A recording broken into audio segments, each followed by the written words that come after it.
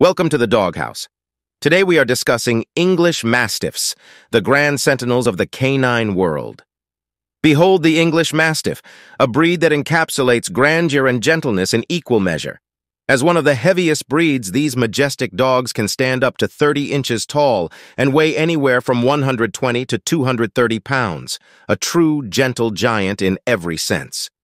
Originating from ancient Britain, they have a lineage steeped in history, once serving as war dogs and guardians. Today they stand as serene family members, known for their calm, affectionate demeanor.